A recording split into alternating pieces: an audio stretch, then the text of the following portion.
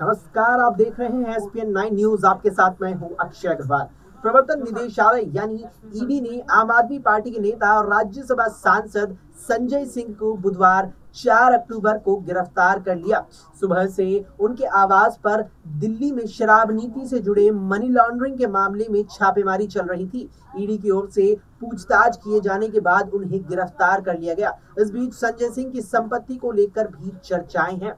Party के सांसद संजय सिंह, आम आदमी पार्टी के कद्दावर और दिल्ली के मुख्यमंत्री अरविंद केजरीवाल के करीबी नेता माने जाते हैं। संजय सिंह का जन्म 23 मार्च 1972 को उत्तर प्रदेश के सुल्तानपुर में हुआ था। 2018 में वे पहली बार आम आदमी पार्टी की तरफ़ से राज्यसभा के लिए चुने गए थे। चुनाव आयोग को दिए अपने हलफनामे के मुताबिक उस समय संजय सिंह ने अपनी चल संपत्ति उनसठ हज़ार चार सौ निन्यानवे रुपए बताई थी। उस समय आम आदमी पार्टी नेता संजय सिंह के पास तीन बैंक अकाउंट थे, जिनमें सोलह हज़ार सौ रुपए जमा थे। इसके अलावा उनके हलफनामों में बताया गया है कि उनके पास चार लाख सत्ताईस हज़ार रुपए का सोना था। हलफनामे में ये भी बताया गया है कि अभी संजय सिंह की कुल संपत्ति छह लाख साठ हज़ार रुपए है, जिसमें अचल संपत्ति का एक भी रुपया नहीं है। हलफनामे के मुताबिक संजय सिंह पर मानहानि समेत चार केस और तेरह एफआईआर दर्ज है।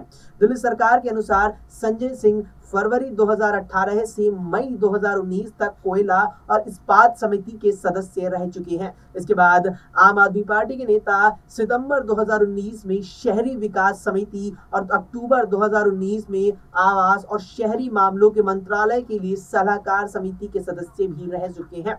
Sanjay Singh India against corporation आंदोलन में टीम अन्ना के सदस्य थे। 2012 में आम आदमी पार्टी बनाने में उनकी अहम भूमिका रही है। अब ईडी ने संजय सिंह को उनके आवास से गिरफ़्तार कर लिया। ईडी के मुताबिक दिल्ली सरकार की 2021-22 के लिए लाई गई नई आबकारी नीति में पैच ईडी के मुताबिक दिल्ली सरकार की 2021-22 के लिए लाई गई नई आबकारी नीति ने गुटबंदी को बढ़ावा दिया। इसमें शराब व्यापारियों को लाइसेंस देने के लिए कुछ डीलरों को फ़ायदा पहुँचाया गया था। अभी के लिए इस वीडियो में इतना ही। आप देश और दुनिया की अभी के लिए इस वीडियो में इतना ही। आप देश और दुनिया की हर खबर को लेकर अपडेट रहने के लिए देखते रहिए एस पी न्यूज़